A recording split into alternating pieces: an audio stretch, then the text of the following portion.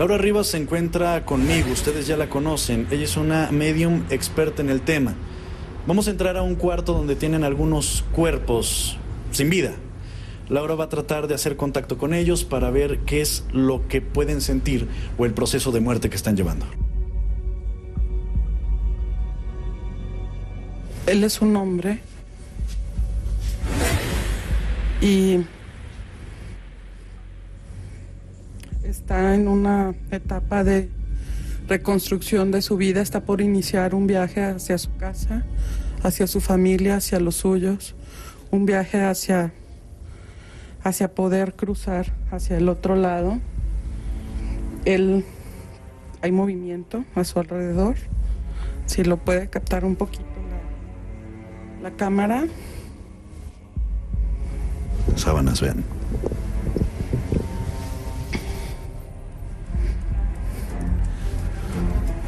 Los pies. Hay un accidente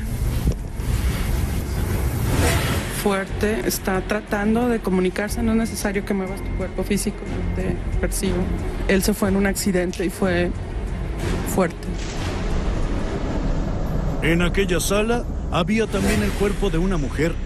Ve usted lo que pasa cuando la cámara gira a la derecha. ¿Qué sigue para ellos? ¿Qué va a pasar con su alma? Isabel, Isabel se va rápido porque ella tuvo un proceso de, agonía. Y, y él, él va a tardar un poco más porque todavía no llega a su casa. Y, y él, él va a tardar un poco más porque todavía no llega a su casa. Si nos damos cuenta, la temperatura de un cuarto a otro empieza a bajar. Cuando empieza la comunicación, ellos tratan de, de tocarme o de que yo los escuche, pero los escucho, se escuchan susurros. Es- eh, eh, aquí está hay, hay mucha inquietud. En esta parte hay mucho dolor, hay mucha inquietud. Duran aproximadamente de tres a nueve días en cerrar su, su ciclo físico. Tienen tres meses para arreglar sus asuntos pendientes, pero cuando sufrieron una larga agonía, eh, realmente se van muy rápido porque su dolor terrenal ya fue muy fuerte y solamente queda la elevación espiritual. Y cuando deciden eh, emprender este camino o este viaje, lo mejor que podemos hacer por ellos es exactamente encender una vela, hacer oración, transmutar esa energía y que se vayan a, a estar en paz. Acto seguido, Laura Rivas aseguró guiar con sus palabras a estas almas desorientadas hacia la luz. Aquí sucedió otro detalle interesante. Eh, el que tiene más actividades en esta parte de aquí. Y si podemos ver, él, va, a tener un poco de elevación en lo que son las, las sábanas, porque podemos ver la elevación del espíritu momentáneamente. Va a empezar a haber mucha, mu mucho movimiento y él es el que está un poco más, más inquieto. También él puede partir en este momento, ¿le puedes ayudar? Te convoco a que partas y vayas con los tuyos, ve hacia el sur donde es tu casa. Vean la sábana, ¿eh? Vean la sábana cómo se mueve. te está yendo en este momento. ¿Lo podemos ver? Las sábanas, ¿eh? Cómo están moviendo, observen. ¿Sí lo alcanza a ver Luis? Sí. Quiero que te liberes y vayas con los tuyos. Camina hacia el sur, seguro hay una luz encendida para ti. Hay un camino certero para los tuyos. Hay consuelo en su alma y gozo en su corazón. Te vas en este día hacia la luz, hacia el universo de Dios infinito. Ante este tipo de situaciones, podemos darnos cuenta de que nuestra estadía en este mundo es pasajera. Sabemos que solo bastan algunos segundos para pasar de este mundo de los vivos al enigmático Valle de los Muertos. Aquí es donde llegan las preguntas. ¿Realmente estamos preparados para morir? En este momento, ¿cuántos pendientes dejaría? ¿De quién le faltaría despedirse? ¿Vive usted su día como si fuera el último de su vida? Las preguntas están en el aire.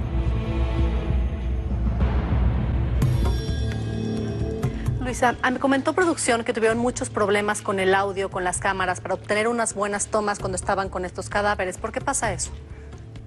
Bueno, porque estos cadáveres estaban a punto de desprenderse y estaban en un proceso. Además hay que recordar que al ser una funeraria pasan en mil cantidad de cuerpos por ahí que dejan un poco de su energía en esas cuatro paredes. Entonces todo esto, claro que afecta porque hay que recordar que los fantasmas se alimentan de toda la energía. sea las cámaras, micrófonos, luces, computadoras, entre otras cosas. Ahora, estas tomas, Luisa, no fueron en el servicio médico forense, fueron en una funeraria, ¿es así? Sí, fue en una funeraria que nos permitieron el acceso, por supuesto, respetando la identidad de los cuerpos. ¿Y es posible, Octavio, que esto se dé, estos movimientos de los cadáveres, estas manifestaciones? Claro que es posible, bueno, pues está, está grabado, está en video, que sí se dan estas manifestaciones cuando el espíritu y el alma trascienden. Yo quiero dejar algo claro, para mí es muy importante. Cuando alguien muere, el espíritu y el alma enseguida se van, ¿eh? Enseguida se van. Lo que queda aquí es la energía es la energía de esa persona.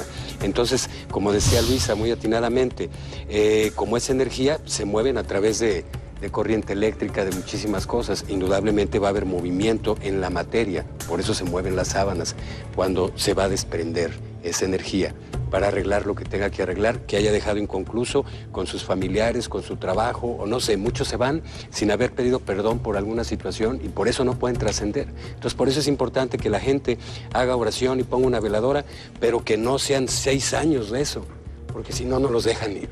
Ahora, en el caso de los trabajadores, Luisa, ¿qué pueden hacer ellos para no llevarse a estas personas a su casa, no cargar con estas energías?